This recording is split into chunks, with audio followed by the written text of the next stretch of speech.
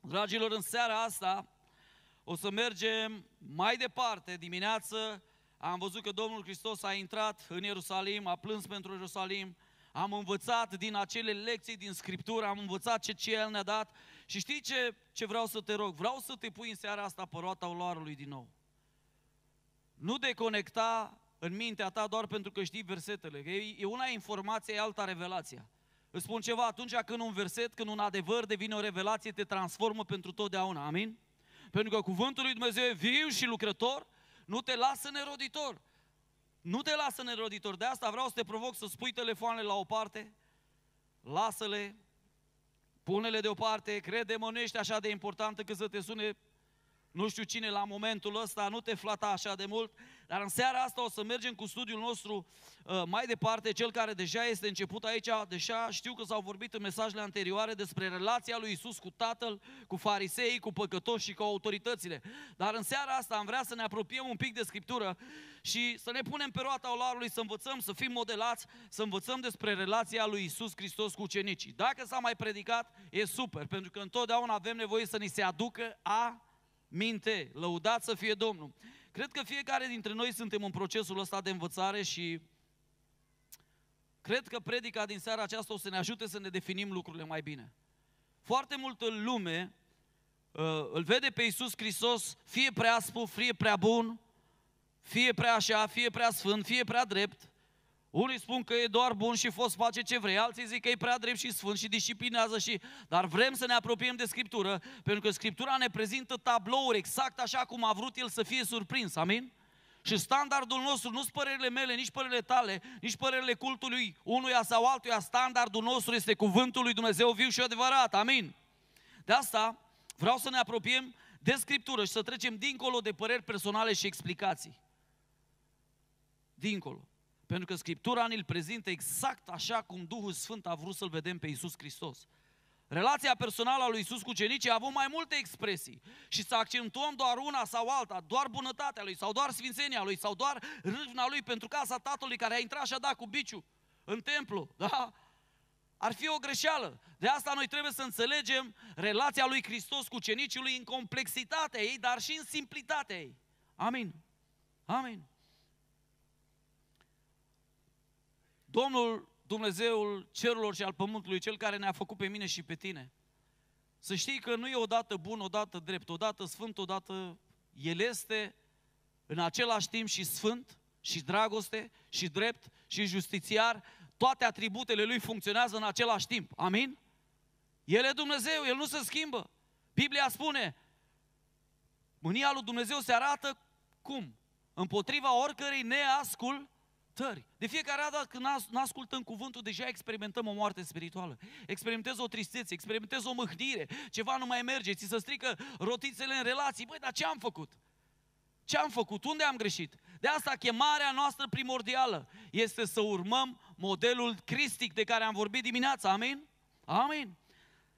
Primul aspect al relației lui Hristos cu ucenicii, atenție, nu este de a face ucenici primul aspect al relației lui Isus cu cenicii a fost, după cum scrie Matei la 9 la 9, de acolo Isus a mers mai departe, a văzut pe un om numit Matei șezând la vamă și i-a zis, vino după mine. Vino și urmează-mă. Domnul Hristos n-a spus ucenicilor, vino și studiază-mă.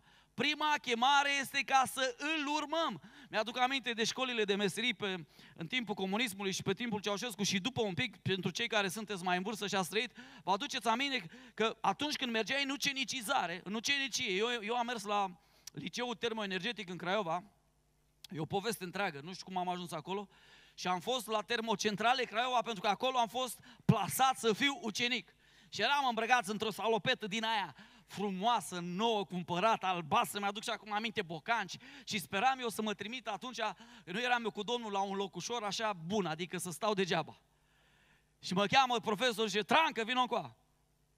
Eu deja aveam o impresie foarte bună de mine. Ce vezi că pe tine te-am plasat în cel mai bun loc din toată termocentrala asta, Craiova, unde credeți că m-a trimis? La cenușă.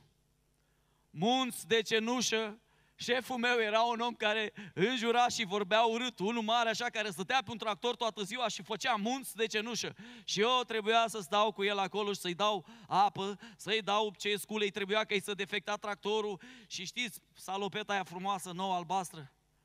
La sfârșitul zilei știți cum era? Neagră de un soare. Nu numai salopeta, dar și eu nu mai mi se vedeau ochii, cum să spun, pielea feței, doar ochii mi se vedeau când a venit instructorul maestru să ne ducă acasă cu ceva, mașină, autobuz, nu știu, să ne coloneze pe toți, nici nu m-am mai recunoscut ăștia, n-aveam dușuri, n-aveam nimic, dar am zis, Doamne, ce mă fac? Mă duc și mă arunc în jiu să mă spăl. Dragul meu, ucenicia nu e ușoară, dar când ești chemat în ucenicie, primul lucru care vrei să-l faci este să te uiți la instructorul tău și să vezi modelul și să faci ca el. Nu trebuie să faci pe deșteptul, corect? Corect?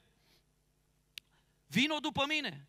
Domnul Hristos se prezintă în Evanghelii de multe ori și în Ioan 10 cel mai frumos, eu sunt păstorul cel bun. Păstorul cel bun își dă viața pentru oile lui. Eu sunt păstorul cel bun, eu îmi cunosc oile. Ele mă cunosc pe mine, așa cum mă cunoaște Tatăl și cum cunosc eu pe Tatăl. Eu îmi voi da viața pentru oile mele. Mai am și alte oi care nu sunt din staulul acesta și pe acelea trebuie să le aduc.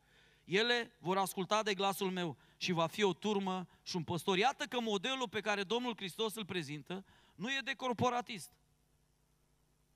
Nu e de CEO, da? de șef, de dictatur. Dictator. Nu e un, un model care, uh, cum să zic, nu e un model de marketing. E un model de imitare. Amin? El ne cheamă să ne uităm la păstorul cel bun și să începem să-l imităm.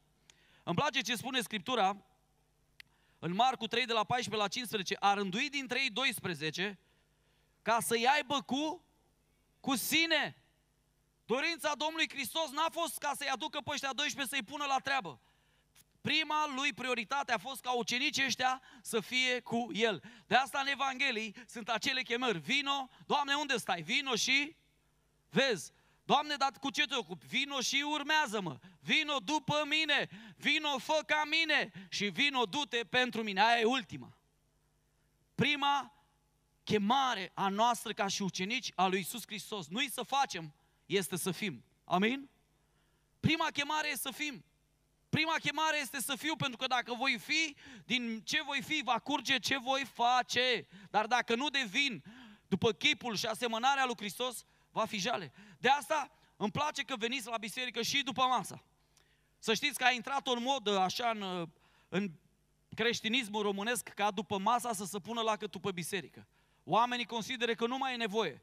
E percepția lor, e încredințarea lor. Eu, cu cât voi avea ocazia, voi veni să mă pun pe roata olarului în fața cuvântului lui Dumnezeu și o să continui să fiu un ocenic al lui Isus Hristos. Amin? Doamne ajută-ne! Repet, nota principală aici, sau prioritatea nu este să facem ceva, ci să ne asemănăm. Repet, Romani 8 cu 28 îl cunoașteți, da? Toate lucrurile lucrează împreună spre binele celor cel. Dar Romani 8 cu 29 este o chemare acolo, spune Scriptura. Căci pe cei pe care i-a cunoscut mai dinainte, i-a și hotărât mai dinainte să fie cum? Care e cuvântul cheie? Împreună. Ase, asemenea. Asemenea cui? Chipului Fiului Său. Asta e chemarea noastră. Să limităm pe Hristos. Nu știu dacă știți, dar s-a făcut un studiu între musulmani. S-a făcut un studiu între musulmani care este motivul întoarcerilor la Hristos și bineînțeles unul dintre motivele este pentru că pentru foarte mulți îl visează pe Hristos, li se arată Hristos în vise, îi întâlnește Dumnezeu într-o anumită circunstanță, dar cu privire la modelele care le văd în jurul lor, asta spun ei. 60-70% din ei spun asta, m-am întors la Hristos pentru că a existat Ion, Gheorghe, Maricica, Maricela, în care am văzut cu adevărat un model divin care nu l-am mai văzut pe planeta asta. Iată că oamenii sunt atrași de un model. Vreau să te întreb, ești tu un model cristic pentru cei din generația ta? Sau ești condus de ambiție, ești condus de fire, ești condus, ești la fel ca și lumea? Doar vii la biserică, bifezi și tu te duci și îți continui viața. Primul aspect al relației Domnului Hristos cu cenicii i-a chemat în relație cu sine, cu El. El a vrut pentru El. I-a vrut să dezvolte o relație personală. Apoi, un alt aspect al relației cu Isus, pe lângă asemănare, este în Luca 22 cu 35. Apoi le-a mai zis, când v-am trimis fără pungă, fără traistă și fără încălțăminte, ați dus voi lipsă de ceva? Ucenicii au zis, de nimic. Cu alte cuvinte, Domnul Hristos nu numai că îi cheamă în relație cu sine, dar El este și Cel care îl poartă de grijă ucenicului. Amin? Atunci când ai un ucenic, atunci când mentorezi pe cineva, tu cumva devii un fel de sponsor al lui, începi să ai grijă de el, să-i dai telefoane, să te ocupi de el, să-i vezi nevoile. Domnul Hristos este păstorul cel bun. El are grijă de oi, amin? El nu lasă oile de izbeliște. Scriptura spune în Evrei 13, de la 5 la 6, să nu fiți iubitori de bani. Mulțumiți-vă cu ce aveți. Doamne, ce mult îmi vorbește cuvântul ăsta. Ești tu mulțumitor cu ce ai? Îl ai drept, dar vrei creț. Îl ai creț, dar vrei drept. Ești mic, dar vrei să fii mare. Ești mare, dar zici, Doamne, nu-mi intră picioarele în mașină, bine era să fiu mai mic. Și tot timpul ne plângem. Suntem într-o generație nemulțumitoare, dar Biblia ne promite asta nici de cum n-am să te las, cu niciun chip nu te voi părăsi, așa că putem zice plini de încredere, Domnul este ajutorul meu, nu mă voi teme, ce mi-ar putea face omul? La câți dintre voi vă este frică de om? Frate Sani, ce facem? Plecăm, stăm în țară, vine războiul, nu vine războiul. Înseamnă că trăim în frică. Vine criza, nu vine criza. Îți este frică de moarte, îți este frică de om, îți este frică de ce ți-ar putea face omul? Încă n-a ajuns încrederea de săvârșit în tine, dar Domnul spune, cu niciun chip nu te voi lăsa, nu te voi părăsi. El nu e un păstor care părăsește, iată modelul Domnului Hristos. El e dedicat, el este loial până la capăt. Amin. Deci, cum am spus, primul aspect a fost, suntem chemați în asemănare. Al doilea aspect al relației este că nu noi purtăm de grijă lui, ci El ne poartă nouă de grijă. Și e fain să-ți aduci aminte asta în timpul săptămânii, în timpul crizelor, în timpul uh, momentelor de vară, când o să te topești ca înghețata și o să începi să te îngrijorezi de ziua de mâine, să aduci aminte, Domnul va purta de grijă. Amin? Un alt aspect al relației Domnului Hristos cu ucenicii este de mentorare. Focusul Domnului Hristos a fost să-i mentoreze pe ucenici în relație, să le arate modelul, dar modelul prin exemplu perso personal. Iată că Domnul Iisus Hristos a dus și a atins leproșii. Nu se ferea de ei ca farisei. A pus mâna pe ei. Domnul Hristos a luat copilașii în brațe și a ținut pe genunchi. Chiar a zis, lăsați copilașii să vină la mine. Domnul Hristos a modelat adevărata ucenicie, care nu este despre studiu biblic în primă fază, ci este nici despre dezvoltare personală nu este, este despre o viață de rugăciune în intimitate cu Tatăl. Ascultă-mă ce spun, frate și soră. De nouă ori îl vedem pe Domnul Hristos că merge în munte să se roage. V-aș da referințele, dar sunt foarte multe. De nouă ori. Dar vă citesc doar una, Marcu 1 cu 35. A doua zi dimineața, pe când era în întuneric de tot, Iisus s-a sculat, a ieșit, s-a dus într-un loc pustiu și se ruga acolo. Iată că Domnul Hristos a început să modeleze pentru ucenici ce vrea să vadă la ei. Domnul Hristos nu i-a condus, fă ce-ți spun eu. Mi-aduc aminte, tatăl meu era fumător, era și băutor, dar era și fumător. Și îmi zicea mie, băi, dacă te prind vreodată că fumezi, îți rup capul. Dar eu aveam pachetul în buzunar, știi, și scoteam și mi-a prindeam țigara. Zic, păi, dar tu fumezi și eu să nu fumez? Eu fac ce faci tu. Dar de unde ai învățat? De la tata.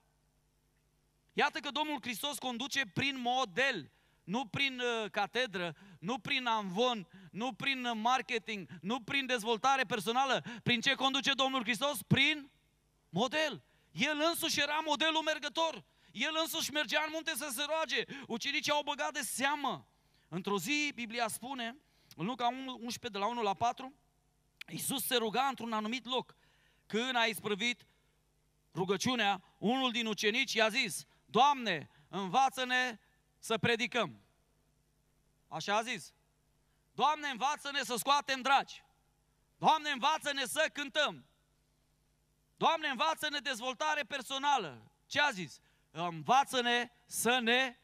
Cu alte cuvinte, ce au zis ucenicii? Vrem și noi să știm ce e dincolo de rugăciunea asta. Vrem să intrăm în intimitate cu Tatăl la fel cum o faci tu. Învață-ne să ne rugăm. Eu vreau să vă întreb. De ce unii când se roagă sunt ascultați și alții nu? Și Domnul Hristos îi învață. El a zis, când vă rugați să ziceți Tatăl nostru care ești în ceruri. Cui e adresată rugăciunea? Tatălui care e în ceruri. Deci nu pe pământ. Noi ca oameni, unde căutăm prima dată soluțiile? Bzz, bzz, sună un prieten. Tatăl nostru care ești în ceruri, sfințească-se numele, adică nu să se facă mare buzunarul meu. Încă un business, încă, încă, încă. Vie împărăția, adică nu să crească influența mea. Oh, ce tare! Doamne, îți mulțumesc! Facă-se voia ta, nu a mea. Deci până acum nu e nimic despre mine. Doamne Iisuse, deci ăsta e secretul rugăciunii? Să mă scot pe mine de tot din poză? Precum în cer, așa și... Tu din ce ești făcut? Din pământ. Eu sunt din pământ, parte pământ. Precum în cer, așa și în pământul sani trancă. Amin? Domnul Hristos le mută focusul ucenicilor. Ascultați-mă, ucenicii ăștia erau oameni cu școală. Trecuseră prin cele două școli rabinice, oameni ăștia. Nu e cum așa cum se mai predică de câte unii care n-au studiat, că erau niște pescari analfabeți. Nu e adevărat. Ei trecuseră prin școală, ei învățaseră Pentateu cu oamenii ăștia. Când Petru a început să scrie uh, mâna de Duhul Sfânt epistolele, oamenii ăștia ați văzut că dădeau citate din Vechiul Testament foarte, foarte mult. Ei erau deja școliți, dar aveau o problemă. Rugăciunea lor să lovea de tavan și venea în a Poi, de ce? Pentru că era o rugăciune mecanică, teoretică. Ei nu-L cunoșteau pe Tatăl. Și de asta sunt disperat și spun Domnului Iisus, învață-ne să ne rugăm. O, îmi place atâta de mult că Domnul Hristos îi învață prin model, nu îi trimite la școală. Nu le zice, băi, faceți patru studii, mergeți puțin, acum vedeți că e pe aici, prin oraș, niște studii de leadership. Voi asta trebuie să fiți lideri, să dați comenzi. Nu. Domnul Hristos modelează ce vrea să vadă la ei, El deja are în viața Lui personală. Vreau să te întreb, tu ca tată, modelezi pentru copiii tăi împărăția al Dumnezeu? Reflectează un pic. Tu ca bunic, tu ca bunic, reflectezi împărăția lui Dumnezeu pentru nepoții tăi? Mi-aduc aminte de bunica lui Adina. A trăit, nu mai știu câți, 80 și cât? Ceva, peste 80 de ani. N-a avut televizor toată viața ei, nu i-a trebuit. De câte ori mergeam la ea, o găseam cu Biblia deschisă și rugându-se. De ce? Pentru că ea a înțeles un lucru. Rugăciunea e comuniune cu Tatăl nostru. Și dacă n-ai comuniunea cu Tatăl nostru, e jale. Cum spunea un om al Dumnezeu, Leonard Ravenhill, rugăciunea leagă neputința noastră de omnipotența lui Dumnezeu. N-ai rugăciune? Ești zero. Poți să ai teorie, poți să știi versete, poți să știi de toate. Nu ai o viață de rugăciune, nu ai o relație cu Tatăl. Ei, o să vină, știți cum au venit uh, fie al lui Șeva, vă aduceți aminte de ei? Au încercat cei, au intrat pe canalul de YouTube al lui Pavel, au văzut cum scoate Pavel drag și a zis, bă, dacă Pavel poate și noi putem. Dar ce, noi suntem mai prejos? S-au dus și au început ei acolo să scoată dracii din acel om și ce s-a întâmplat? Biblia spune că ăla le-a spus, voi cine sunteți? Pe Hristos îl știu, pe Pavel îl îl cunosc, dar voi, pe voi nu, nu, și asta e să văd ca o puțin în registrul cerului și în registrul iadului. Bă, pe voi nu vă cunosc. Nu sunteți ai Domnului. Dragul meu, haideți să învățăm de la Domnul Isus. Modelul nostru suprem, Hristos, a avut o viață de rugăciune, nu o rugăciune din când în când. De asta Apostolul Pavel, mâna de Duh Sfânt, spune, rugați-vă neînce, neîncetat. Te doare spatele, roagă-te. Te doare capul, roagă-te. Nu-ți merge bine lucru, roagă-te. Primești bani, laudă-L pe Domnul. Îți crește business-ul, laudă-L pe Domnul, roagă-te. Tot timpul rămâi într-o rugăciune și când tu ții relația asta constantă cu Tatăl, încep lucruri mari să se întâmple pentru că El locuiește în mijlocul laudelor copiilor. Lui lăuda să-i fie numele, amin? E, dragul meu, am vorbit despre primul aspect al relației Domnului Hristos cu cenicii, care e asemănarea, al doilea e purtarea de grijă al treilea este modelul care Domnul Hristos ni-l dă, dar acum o să intru într-un subiect, într-un aspect puțin mai sensibil și o să-mi cer de la început iertare dacă o să supăr pe cineva, că cel mai probabil o să o fac.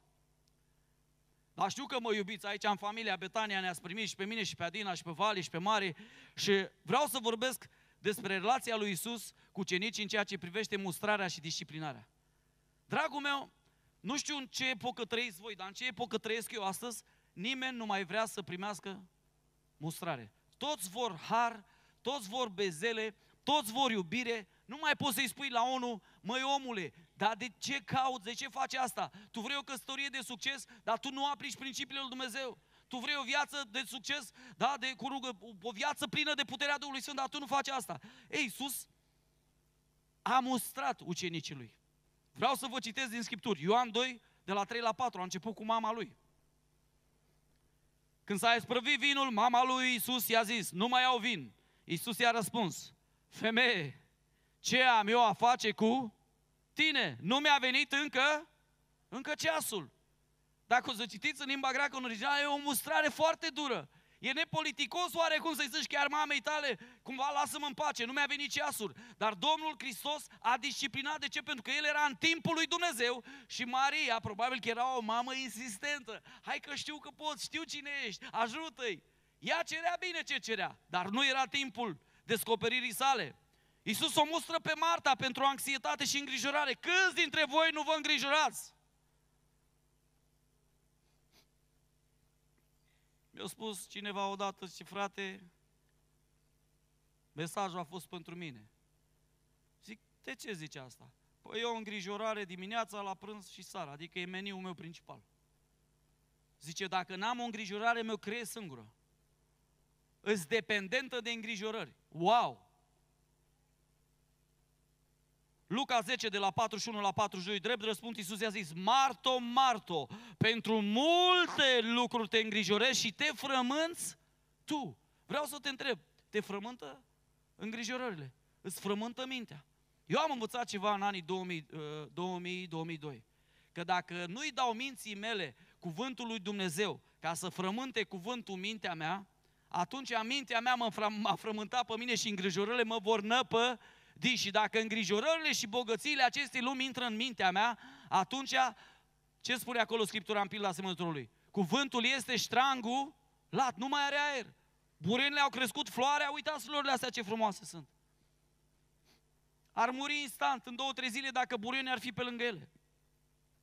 Domnul Iisus o mustră pe Marta pentru anxietate și îngrijorare. De ce? Pentru că îi spune acolo, un singur lucru trebuie. Maria și-a ales partea cea bună care nu îi se va lua. Cu alte cuvinte, Maria a înțeles momentul. Era Hristos în încăpere, Maria s-a pus la picioarele cuvântului. Uite, eu vreau să te provoc. Tu înțelegi momentul ăsta? Eu m-am pus la picioarele cuvântului. Te pui și tu la picioarele cuvântului să înveți, să primești, să fii gata să spui ce, să faci ce spune cuvântul? Vreau, Doamne, să fiu modelat în asemănare cu cuvântul Tău. Maria s-a pus la picioarele lui Isus. Pune-te la picioarele cuvântului zilnic ca Maria și o să vezi că lucrurile încep să se alinieze. Îmi spunea un frate, zice, mă, Sani, am început să practic zecioala. Zice, eu care, sincer, sunt zgârcitul zgârciților, adică eu nici, mie, nici la nevastă, nici la copii nu, nu fac cinste, nu, îți zgârcit maxim. Zice, am o problemă cu zgârcenia, mă pocăiesc înaintea Domnului. Dar și am început să practic zecioala. Știu că pe aici nu sunt zgârciți, că am văzut că oamenii dăruiesc cu bucurie. Și zic, ce s-a întâmplat? Bă, omule, parcă ceva mi-aranjează lucrurile înaintea mea. Așa ceva eu n-am văzut. A doua lună zic, stai puțin că merge prea bine, nu mai dau. De cum am început săptămâna blocaje.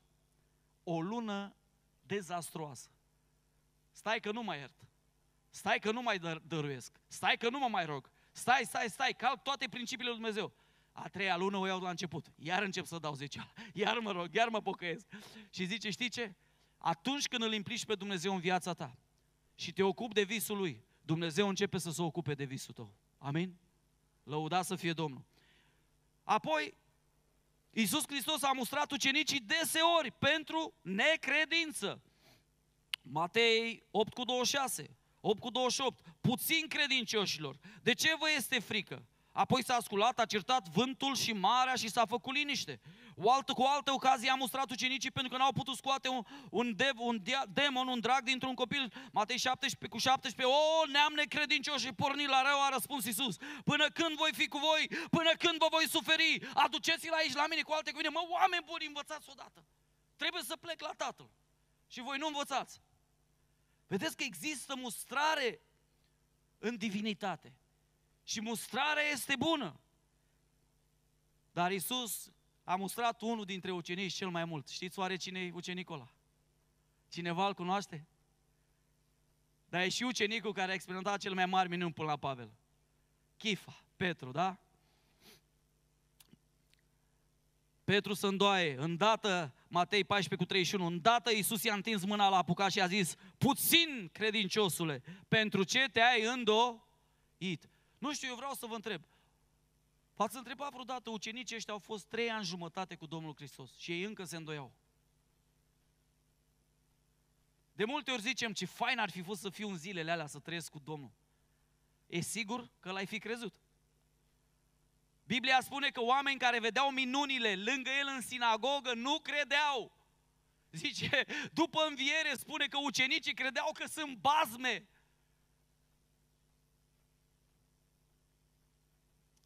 Matei 17 cu 20, din pricina puținei voastre credințe, le-a zis Isus. Adevărat, adevărat vă spun că dacă aveți credință cât un grăunte de muștar și ați zice muntelui acestuia, mută-te de aici, acolo s-ar muta. Dragul meu, mustrarea și corecția e parte din planul uceniciei sănătoase. Amin? Mi-aduc aminte când m-am dus la biserică la 16 ani jumate, eu am fost un tânăr foarte răzvătit, să știți, un copil foarte, cum să spun, am fost și foarte rănit și foarte abuzat fizic și bătut, dar și răzvrătit.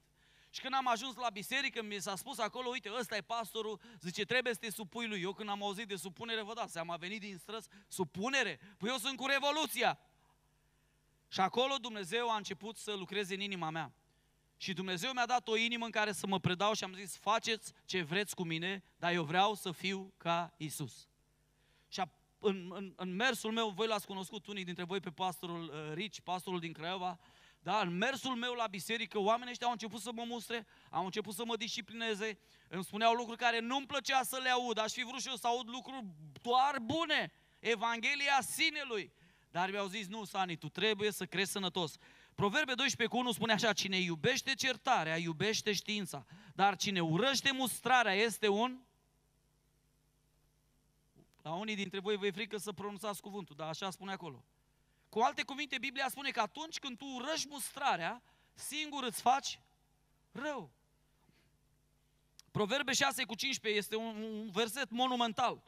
Ăsta mi-a vorbit la 16 ani jumate, ăsta m-a făcut să mă pocăiesc cu adevărat. De aceea, nimicirea le va veni pe neașteptate, va fi zdrobit deodată și fără leac. Omul care nu ascultă și nu primește mustrarea, va fi zdrobit deodată și fără leac. Păi da, frate, dar copilul Domnului, m-am pocăit, m-am botezat. E super, dar continui să fii copilul Domnului. Continui să primești mustrare sau când îți zice păstor o vorbă, tu te superi. Era un proroc în Biblie și o circumstanță, Ahab și Iosafat, vă aduceți aminte, și toți prorocii vesteau lui Ahab numai de bine și Iosafat zice, mai este cumva pe aici un proroc al Domnului, că aș vrea să-l chem. Iosafat își luase măsurile de precauție, a văzut pe ăștia că prorocesc doar pozitiv. Și zice Ahab, da, e unul mic, dar de câte ori îl chem în procește doar de, doar de rău îmi spune, mă mustră, mă ceartă, zice să mă pocăiesc. Cheamă-l, îl vom aștepta. Și oamenii pe drum îi spun lui Mica, te rog frumos, zi de bine împăratului, nu-l mustra, nu-l certa, că toată lumea îi vorbește de bine. Ăsta e un om cu vază, e un om potent, poate să ajute biserica, înțelegi? Vorbește de bine. Și Mica zice, viu este Domnul că voi spune doar ce Dumnezeu Iahve îmi va spune, Domnul la Dumnezeu Adonai îmi va spune. Și ajunge în fața lui Hab și îl întreabă, ai un cuvânt pentru mine? O să câștig biruința asta? Și zice, da, da, o să câștigi. Zice, te pun să jur pe numele Domnului când spui adevărul și începe mica să-i spună, iată, vădoile lui Israel împrăștiate fără păstor. Și zice, de ce, ce, le-a, ce a spus prin asta? A spus, dacă te vei duce la bătălie, vei, vei muri. Și ăsta când a auzit, s-a supărat că l-a mustrat și puneți-l în temnița aia de jos de acolo și hrăniți-l cu pâinea întristării până mă voi întoarce în pace. Dar mica spune în timp ce e legat, dacă te vei întoarce în pace, mie nu mi-o zis Domnul. Dragul meu, noi trebuie să fim gata să ne mustrăm în dragoste, bineînțeles, să ne spunem adevărul, dar mustrarea e parte din planul divin, amin? Dragilor, eu am crescut, vă spun sincer, sunt un om învățabil. Cine mă cunoaște și prietenii care sunt de aproape știu că sunt un om învățabil. Am încă și acum caietele de 20 de ani din facultate care mi le-am notat de la profesori. Dar credeți-mă, câtă mustrare am luat, și câtă mustrare iau, nu vă vine să credeți. Dar primesc mustrarea, știți de ce? Pentru că vreau să cresc mai mult ca Isus. Acum, Biblia spune așa, Tit 1 de la 13 la 14, ia să, să vedeți că nu doar Vechiul Testament sau Domnul Hristos folosește mustrarea și corecția, ci și Apostolul Pavel, Apostolii.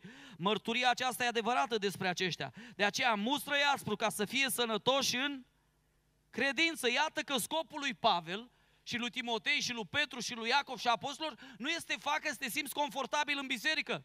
Scopul lor era să fii sănătos în, în credință. Amin? Sănătos în credință. Pavel știa că atunci când vin valurile, degeaba ți-a vorbit pozitiv și te-a gădilat în fire. El vroia să ai rădăcini puternice puse în dragoste, în cuvânt, în Dumnezeu, să fii sănătos în, în credință. Tot Apostolul Pavel în Tit, de la 3 la 9, spune, dar de întrebările nebune, de înșirările de neamuri, de certuri și cerovăieli privitoare la lege, ferește-te, căci sunt nefolositoare și zadarnice. După întâia și a doua mustrare, ce spune acolo, citim împreună, depărtează-te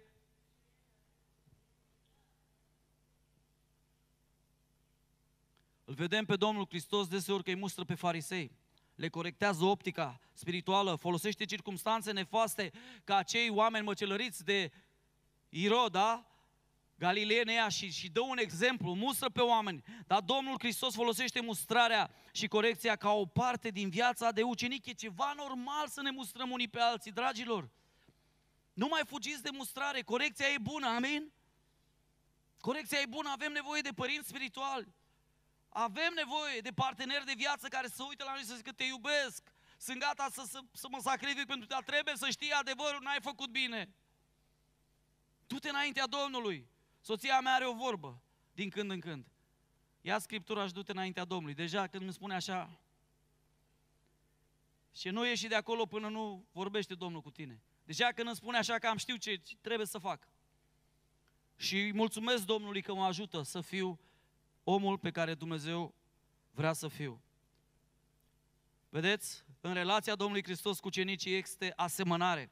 E primordial, e primordial. Apoi e purtare de grijă. Apoi este modelul pe care Hristos ne cheamă să-l luăm modelul personal. Apoi este mustrare și disciplină. Disciplina este bună, de aia se numeau discipoli. Cuvântul discipol vine de la oameni disciplinați. Avem acum o generație care nu mai vrea disciplină nu vor forme, nu vor linii, dar dragul meu, dacă tu ai merge, eu conduc, am condus mult pe autostradă. Dacă n-ai avea linii, știi ce s-ar întâmpla?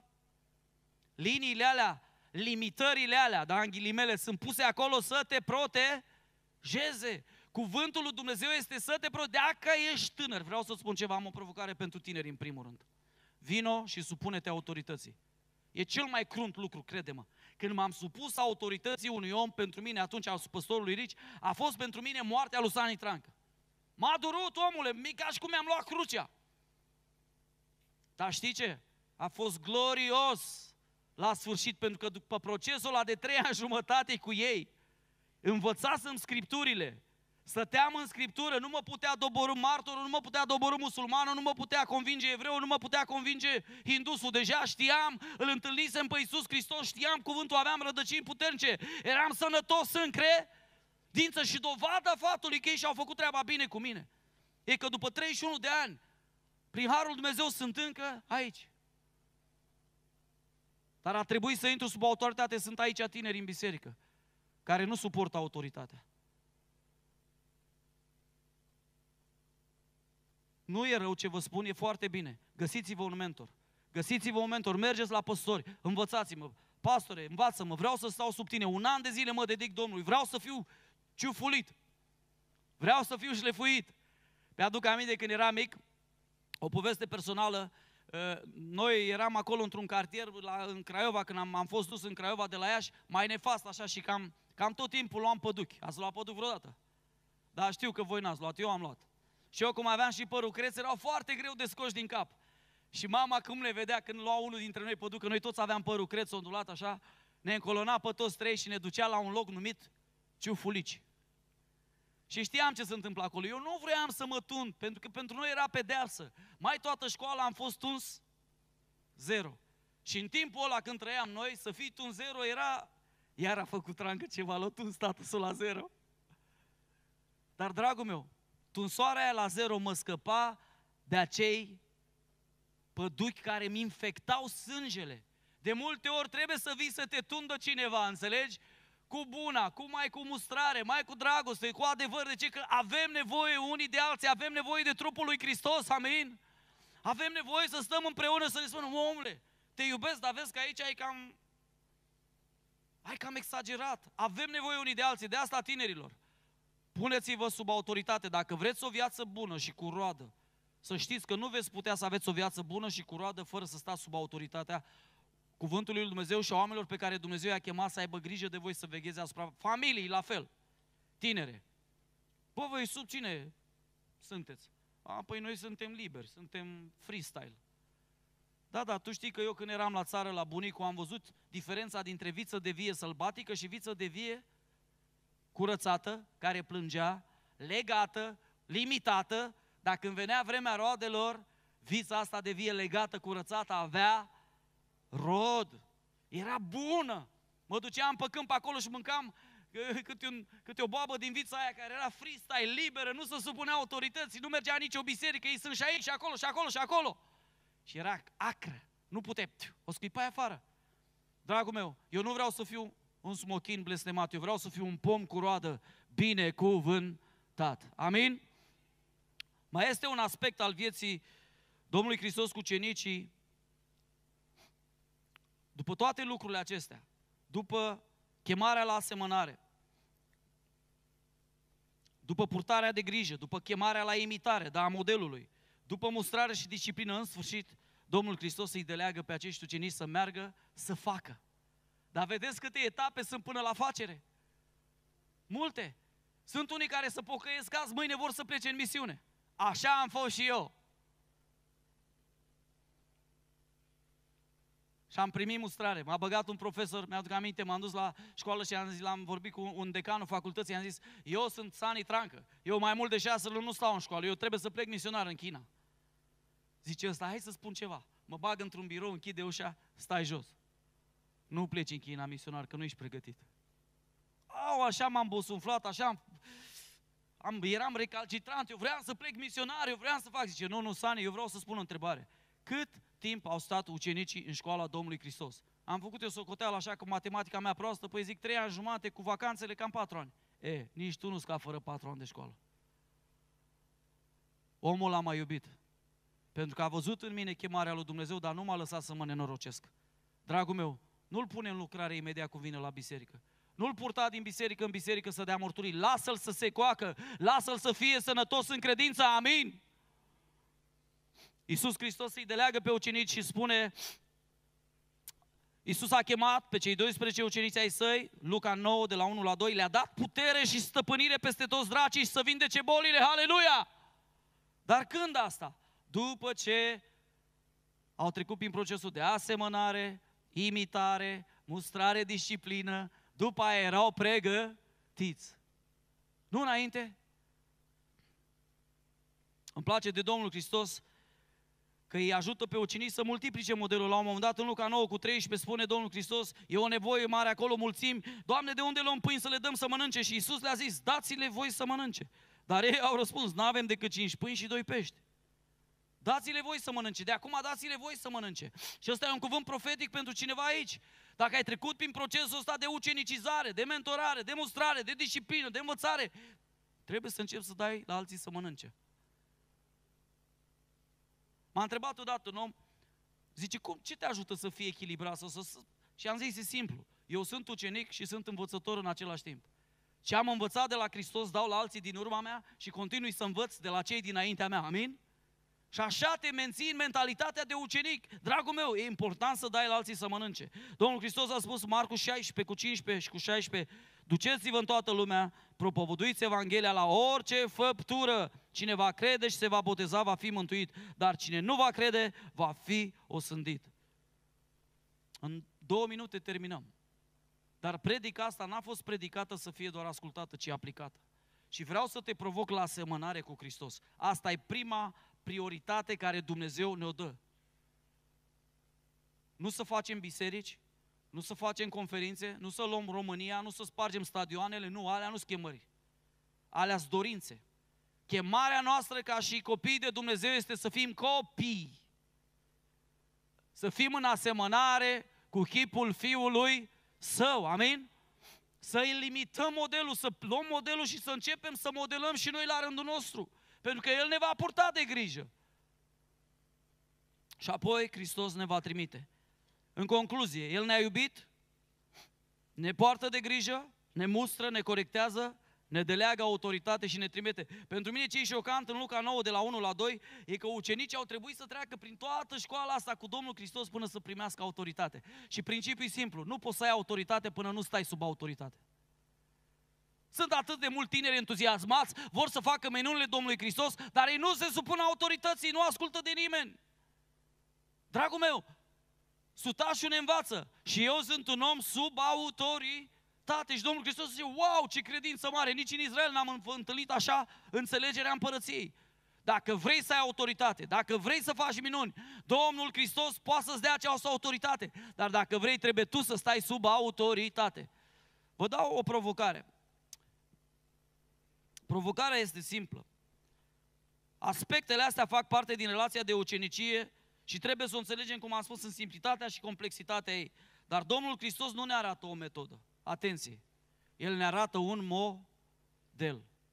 Eu vreau să vă întreb ca și dimineață. Sunteți gata să, învăț- să învățăm împreună modelul cristic și să-l multiplicăm pentru generațiile viitoare? Pentru că asta suntem chemați. Crede-mă, niciunde în Scriptură nu zice schimbați lumea. Niciunde. Asta nu e chemarea mea. Niciunde în Scriptură zice cuceriți lumea. Asta nu e chemarea mea, nu scrie așa ceva. Scrie urmați, deci pilda lui Dumnezeu. Efeseni 5, capitolul 5, versetul 1.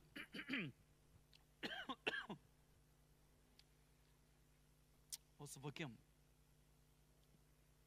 Mulțumesc. Ce scrie acolo, dragii mei?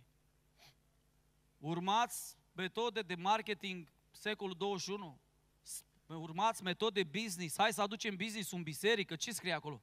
Urmați, dar pilda lui e o singură pildă care trebuie să o urmăm. Și ne spune pilda asta în capitolul 2, Efeseni 5 cu 2. Ia uite mai departe ce scrie. 5 cu 2, 5 cu 2, ești acolo, doar dă 2. Trăiți în dragoste. După cum și Hristos ne-a și s-a dat pe sine pentru noi ca un prinos și ca o jertfă de bun miros lui Dumnezeu. 1 Ioan 2 cu 6, unul din versetele mele preferate. Cine zice că rămâne în El, trebuie să trăiască și El cum a trăit Isus. Eu vă spun, decizia care am luat-o la 16 ani jumate mi-a schimbat viața. Eu am înțeles că nu pot să amestec lumea cu Scriptura, cu Hristos. S-a uitat un pastor la mine și a zis, bă, Sani, tu n-ai cum să-L împași pe Hristos și pe satana că ei nu o să fie împăcați niciodată. Și zice, toți tinerii ăștia care veniți din lume, ați vrea să gustați și lumea și împărăția lui Dumnezeu. Nu se poate! Trebuie să iei o decizie pentru tine, domnișoară. Trebuie să iei o decizie pentru tine. Trebuie să iei o decizie pentru tine. Păi da, dar eu m-am pocăit acum 30 de ani. Și de ce nu se vede? Tu știi cum sunt pescari? Eu am fost mare pescar. Vă spun sincer, nu eu laudă, chiar am fost. Frații mei mă laudă pe acolo, oamenii care își aduc aminte de mine. Dar acum doar Miros a mare pescar. Eu n-am pescuit de 31 de ani. Decât ce? Oameni. N-am mai pescuit pește. Dar știi cum sunt pescarii? Să dau mari. Păi când eram eu pescar, să vezi cât pește le-am prins.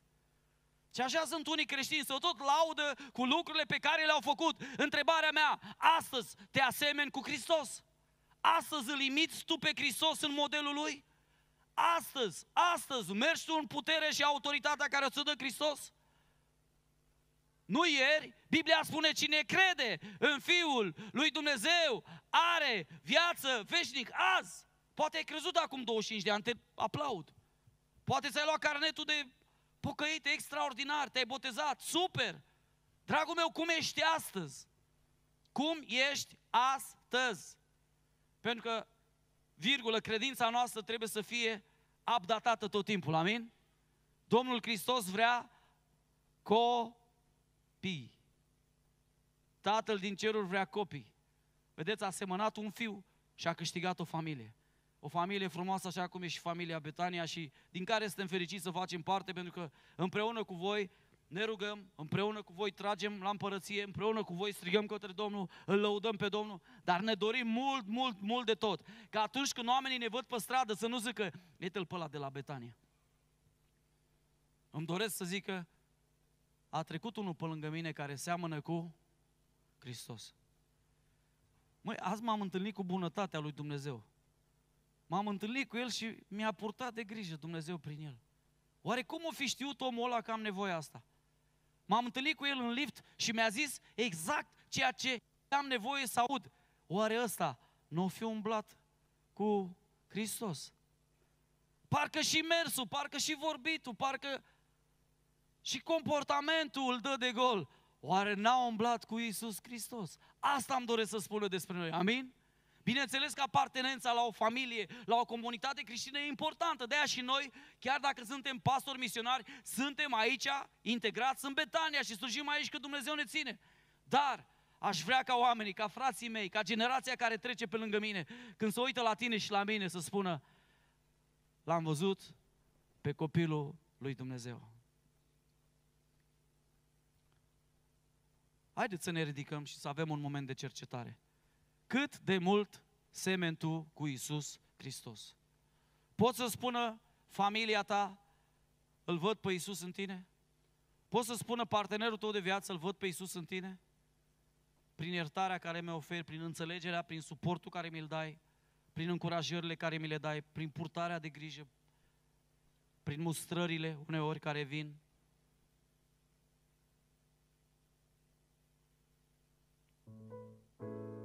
A zis, am auzit odată la cineva, zice, îl am pe Iisus în inimă, dar bunicul meu e în oasele astea.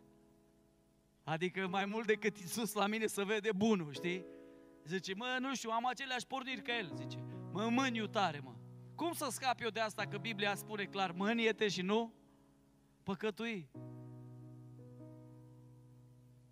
Dragul meu, aș vrea și îmi doresc pentru fiecare dintre noi că atunci când oamenii se uită la noi, să zică, știi ce? Omul ăsta e pe bune. Am auzit o poveste. Uh, vreau să vă spun, am citit-o, nu știu dacă o să aibă impact în viața voastră, în viața mea a avut impact. În, în America, un profesor de facultate care era și, uh, agnostic, dar nu era credincios, era ateu, agnostic, dar nu credea în Dumnezeu, avea toate relele din lume pe el, avea un coleg creștin. Asta necreștinul ăsta și-a pus în cap să se sinucidă într-o zi. Și nevastă te-a zis, i-a zis, te rog frumos, am găsit biletul, ce cu tine, vrei să faci asta? Și dacă nu găsesc sens în viață. Dar zice, da există Dumnezeu, da există. A, ok, știu, l-am și pe la nebunul ăla la mine la lucru, tot profesor universitar, ăla e creștin. Și fiți atenți ce idee a venit lui ăsta. A zis așa, a zis așa, Doamne, dacă existi cu adevărat, eu o să fac un lucru. O să angajez un detectiv particular să-mi urmărească colegul de muncă să văd dacă ăsta e cu adevărat o copie a lui Isus Hristos. Și așa a făcut. Și dacă este așa, eu nu o să mă mai sinucid, o să te urmez pe tine. Dar dacă ăsta nu e o copie a lui Isus Hristos, înseamnă că totul e o minciună. A angajat un detectiv particular fără ca prietenul lui bun să știe. După șase luni a venit ăsta și a spus. Se pare că zvonurile sunt adevărate. Zice el, așa e că nu e adevărat. A căzut, așa e? Și a înșelat soția, nu și-a plătit taxele. A înjurat elevii. Și nu, nu, nimic din toate astea. Zice, seamănă cu unul, un rabin din Israel. În vorbă, în faptă, în gândire, întru totul, are o mărturie peste tot și pretutindeni. Oamenii chiar îi spun, micul Isus. Wow! Tu știi că oamenii te privesc? Ascultă-mă, nouă ne-au mărturisit oamenii când am plecat din București, vă ascultam prin ziduri. Oamenii îți urmăresc gesturile, îți urmăresc viața, îți urmăresc gândirea, îți urmăresc zâmbetul, îți urmăresc apucăturile. Oare suntem noi, îl arătăm noi pe Hristos? Pentru că cea mai mare chemare a noastră este să fim asemenea chipului Fiului Său. Romani 8 cu 29, mai punem o dată și ultima dată pe seara asta. Dragul meu, îmi doresc mult de tot să ne rugăm. Doamne, Duhul Sfânt, ajută-ne, vreau să semăn cu Isus. Dragul meu, n-am avut un model în tatăl meu și sunt convins că nici tu n-ai avut un model. Sau poate unii ați fost binecuvântați să vă nașteți în familii de credincioși adevărați. Eu m-am născut într-o familie idolatră. Dar știi ce? Când am deschis scripturile, am găsit un model pe care îl urmez de 31 de ani și nu dă greș. Citim împreună, căci pe acei pe care i-a cunoscut mai dinainte, i-a și hotărât mai dinainte să fie asemenea chipului Fiului Său, pentru ca El să fie cel întâi născut dintre mai mulți frați. El e modelul. Împreună și ne cercetăm înaintea Domnului, dacă suntem în asemănare cu El.